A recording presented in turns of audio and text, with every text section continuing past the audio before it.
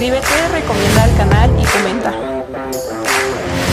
Robert Dante Siboldi Badiola nació en Montevideo, Uruguay, el 24 de septiembre de 1965. Desde su infancia siempre estuvo rodeado de una pelota o de algo que la asemejara. Inclusive a veces las creaban con trapos, latas o lo que fuera. Estudió mecánico tornero y trabajaba al mismo tiempo, pero no dejaba de entrenar, hasta que un amigo lo invitó para probarse con el club Atlético Peñarol, logrando quedarse para debutar en 1983. Con los Carboneros ganó dos campeonatos nacionales de la Liga Charrúa y en 1987 obtuvo el máximo galardón para los clubes del sur, la Copa Libertadores. En la temporada 1988 fue traspasado al Club de Gimnasia y Esgrima de La Plata, en donde no tuvo actividad, por lo cual en 1989 aceptó la invitación para venir a jugar a México, con los rojinegros del Atlas, escuadra en la que militó hasta 1992, jugando 108 partidos y teniendo tan grandes actuaciones que el club lo nombró en el equipo titular de todos los tiempos. Además, ganó el Citlali al mejor portero de la temporada en 1989-90. Sorprendentemente, de 1992 a 1994, el guardameta de 1,94 centímetros estuvo sin equipo, pero aún así era el portero titular de la selección charrúa. Incluso llegó a ser el capitán de la misma en las participaciones de Copa América y eliminatorias mundialistas, apareciendo en el álbum de Upper Deck, Estados Unidos 94. Participó en las Copas América de 1993 y 1997, así como en las eliminatorias de 1994 y 98. Activa la campanita de notificación. Para la temporada 1993-94 firma con la máquina celeste del Cruz Azul en México, jugando 32 partidos y llegando hasta cuartos de final en esa misma competencia.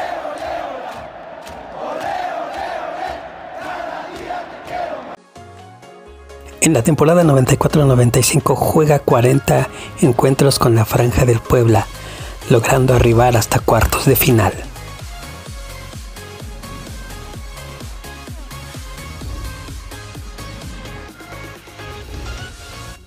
En 96 firma para los Tigres de la Universidad de Nuevo León, donde ganó la Copa México en ese mismo año. Pero le toca descender con ellos. No obstante, se gana el corazón de la afición, al no dejar ir solos a los universitarios hacia la Liga de Ascenso. Lucha por regresar a Primera División, ganando el torneo de 1996 y verano 97, para posteriormente obtener el ansiado ascenso en ese mismo año.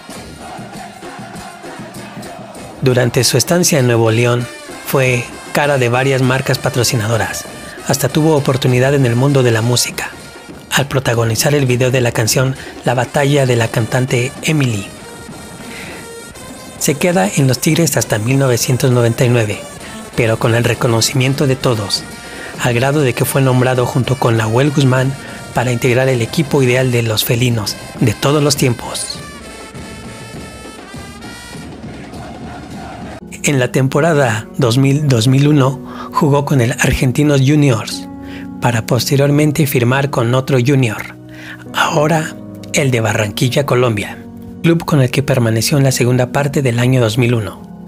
Terminó su carrera en el 2002, con la plantilla titular de Gavilanes de Nuevo Laredo en México.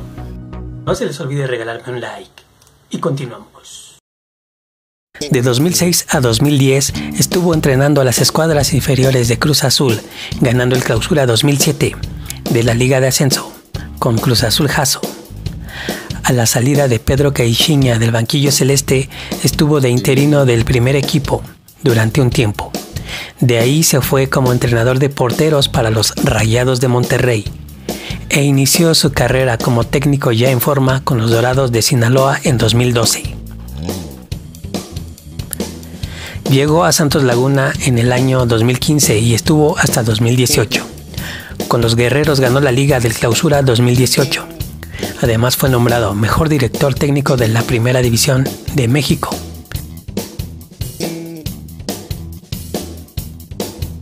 También ganó el Balón de Oro al mejor director técnico de la Primera División de México en ese mismo año. Entrenó al Veracruz entre 2018 y 2019.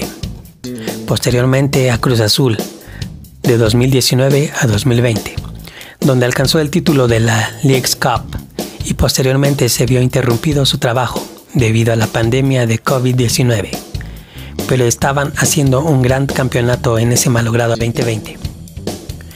Para el año 2021 reaparece dirigiendo a los Cholos de Tijuana y en el año 2022 se va al banquillo del Al-Ali árabe.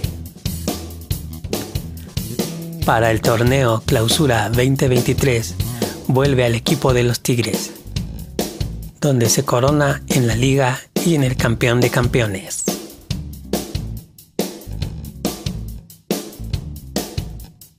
Espero que haya sido de su agrado este video. Nos vemos en el siguiente y no se les olvide regalarme un like, comentar, suscribirse y hasta la próxima.